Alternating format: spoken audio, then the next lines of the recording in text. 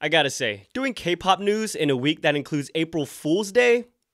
Nightmare. Nightmare especially this year. First of all, I believe at the time of this recording, ATEEZ just got their verified checkmark back from Twitter or X after losing it from all their fun shenanigans. And then you had the unfortunate timing of Karina's breakup news. Five weeks after publicly confirming their relationship back in February and all the chaos that followed, aespa's Karina and actor Lee Jae-wook have ended their relationship. Jae-wook's company stated that he'll be focusing on his work and current filming, but that the two will remain good colleagues and support one another. SM on the other hand simply said that the breakup reports are true. What we also now know is true is the report claiming Twice's Chaeyoung and Zion T are dating. According to the outlet, after meeting each other through a mutual acquaintance, which some speculate is Chaeyoung's best friend Somi, who is also Zion T's label mate. Anyway, the two started out interacting as senior and junior colleagues, which eventually blossomed into a romantic relationship. Well, the reports have been officially confirmed the two are indeed in a relationship relationship. What was denied to be true was the dating report involving LE SSERAFIM's Kazuha and fellow Japanese HYBE label mate &TEAM's K. A few days ago, a Japanese media outlet reported that they followed Kazuha to a restaurant and were surprised to see another idol show up minutes later. The article itself just described him as a handsome idol who's 186 centimeters tall and 6 years older than her. However, the site's membership page revealed it was &TEAM's K. The rumors got to a point where HYBE had to come out and say it's not true, explaining they did dine together, but just as friends. This didn't stop people from trying to connect the dots though. Kazuha has a famous and very unique mango yogurt recipe, which K seemingly shared at their first anniversary fan meeting last year. However, others debunked the article's timeline and validity, as it meant the two would have had to have met when Kazuha was said to have been a ballet academy student in the Netherlands. The outlet that started this whole thing is now receiving a lot of backlash as a result. Along with this, HYBE and their subsidiaries were so busy this week, addressing a bunch more different situations situations. Of course, NewJeans are making their comeback in May, and this week there was controversy surrounding the filming of their new music video. A report came out based on an anonymous user's post, claiming that NewJeans were filming in Taiwan on a public street without permission. Despite them not having the proper permits, people claim that staff members abused their powers on people passing by, yelling at them to not record or take photos, and were even checking people's phones. ADOR actually had to come out and deny these claims, explaining they did get the official official filming permits from the local authorities. They added that their staff held up signs asking people not to take photos within the restricted area, but some still did, which is why they were asked politely to delete them. Well, this didn't end there, as someone decided to get in touch with government officials who allegedly said there was no approval for road closure and that the company in question will be blacklisted. At the same time this is happening, Big Hit Music have been making some weird mistakes lately regarding the recent BTS solo releases and have now actually apologized. Just last week, they promoted an impersonation YouTube account instead of the real one featuring V's new song on some big digital billboards. This week, they messed up J-Hope's Neuron listening party twice. First, they posted the wrong date and time for the Stationhead listening party, and on top of that, they sent out the wrong link when the time came. This time, Big Hit Music did put out a formal apology, explaining the incorrect link was due to a technical error according to Stationhead, apologized for posting the wrong schedule, and promised to put forth preventative measures for the future. Last week, we talked about NCT's Renjun responding to all the comments and criticisms regarding his weight and appearance. This week, in the midst of her emptiness comeback, BoA has now posted responding to comments about her appearance. She basically says when she loses too much weight, people tell her to gain weight. When she puts on a little weight, she gets called a pig. Quote, I don't know what you all look like, but don't live like that, stop wasting your time. She ends it with my favorite line of the whole message, I'm sorry, but I'm BoA. Finally, I do want to update the Hyeri, Han Sohee, and Ryu Jun-yeol situation, just because we did touch on it previously. The big updates you need to know are that Han Sohee put out a lengthy Instagram post denying she was involved in Hyeri's relationship while they were together, and referenced Hyeri's Instagram post asking what's so funny about her ex getting a new girlfriend. She eventually deleted the post, her company did not want to comment on it, and the biggest update is that the couple have now confirmed their breakup two weeks after going public. At this point, point, we'll only discuss this further if Hyeri herself addresses it again in some way. The last pieces of news before we get to the positive stuff are health updates as usual. NCT's Chenle will be performing on music shows this week seated as he recently sustained a minor ankle injury during one of their schedules. LE SSERAFIM Eunchae had to miss emceeing Music Bank due to symptoms of gastritis and had to get treatment. Quite sad news. It was just announced that Chanty was diagnosed with chronic fatigue syndrome and has been getting treatment. This means in order to not cause relapse of her symptoms or strain in her health, she'll be indefinitely postponing her participation in group activities. Thankfully, she's still a member and will still be doing individual activities. And finally, NCT's Jungwoo let fans know that his LASIK eye surgery went well and that his world is much clearer now. On that note, let's get to the positive things in K-pop that we can celebrate this week. ILLIT, who you've probably been hearing everywhere, have broken a bunch of records with their debut, receiving the torch from fellow label mates NewJeans for the highest first week sales of any girl group debut album in history. It's even in the fifth spot for all debut albums. They've also already achieved their very first career music show win on the show with Magnetic. Also, congrats to THE BOYZ taking home another win on Music Core. I love their song Nectar. After setting some perfect all kill records with their B-side Fate, i-DOL's viral song has now also earned its first music show win on Inkigayo, and NCT Dream won first on Show Champion, M Countdown, and Music Bank. Along with those, we had another huge week for comebacks and releases. Of course, you see Lucas's solo debut, which has been met with many, many different responses, opinions, criticism that it's even happening, but also some support, so I'm curious about your thoughts. We had MONSTA X's I.M solo EP,